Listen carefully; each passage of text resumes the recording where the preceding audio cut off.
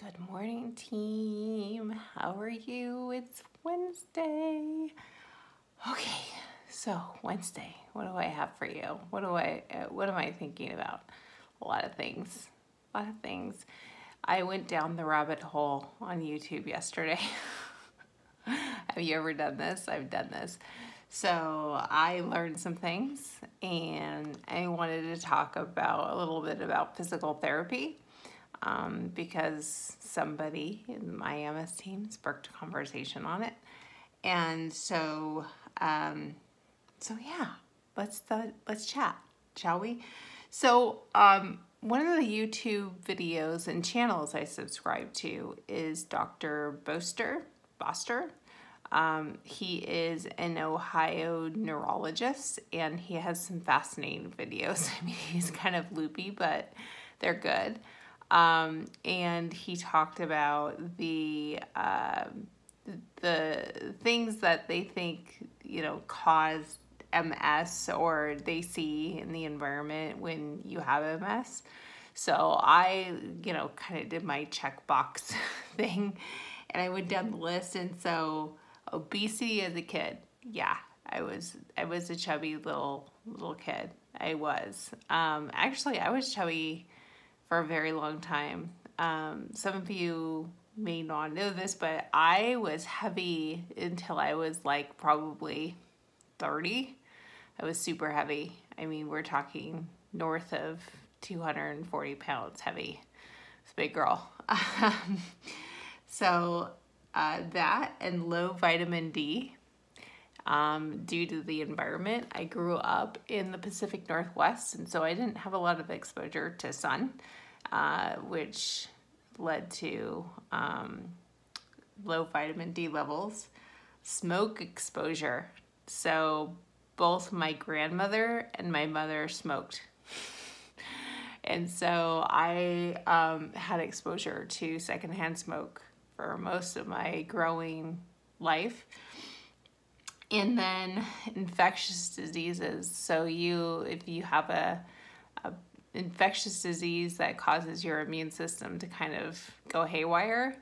Uh, I had a bout of infection as a child. Um, I constantly was getting strep throats. One year I had to be hospitalized because I had uh, tonsillitis, strep throat, and mono all at the same time. so, uh, yeah, uh, I checked like everything off that list.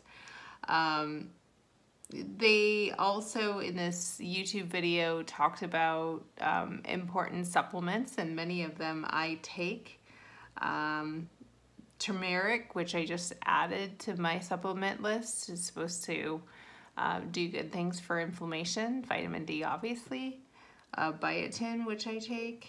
Um, make sure that you are uh, of a good healthy weight. And the reason why that's important is that, you know, you, you think you have problems now with heavy limbs. Well, if they're actually heavy limbs, it makes it really difficult to move around. Um, the less weight you have um, to move, the better. Makes sense, makes sense to me. Um, and then also physical therapy. So yesterday I was looking at one of my MS team members and he was talking about some limitations on physical therapy visits and I had the same thing. I have a limitation on my physical therapy visits from my insurance. I have 25 max that I can do a year. And I thought about it and Physical therapy is really great for giving you the tools to do things at home, right? So I haven't gone to physical therapy since last year. And the reason for that is because um, one, the insurance ran out for it, and two, um, they gave me the tools necessary to do everything at home. So um, I do my physical therapy every single day. Do you?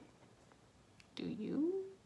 Um, have you been physical therapy? If you haven't been to physical therapy for things like balance, um, strengthening for weak muscles, you should. it's just good to get those tools for you um, going so that you can strengthen your body when you um, when you need it. You all need it, but we need it especially if you have MS. So that's my rant for today. That was a lot. I know, five minutes. Holy cow! Um, but have a good day. You know, rock out Wednesday. Make it happen. if you're working, halfway through. If you're not working, enjoy your Wednesday. Enjoy your Wednesday. Do something fun. Let me live vicariously through you. All right, team. We will talk tomorrow.